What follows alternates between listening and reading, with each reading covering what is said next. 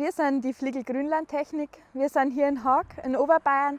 Wir sind seit Herbst 22 hier mit unserem neuen Produkt, dem Cargos. Da sind wir jetzt schon wahnsinnig stolz drauf, dass wir das so weit geschafft haben, dass wir schon so viele Cargos ausliefern haben dürfen und können.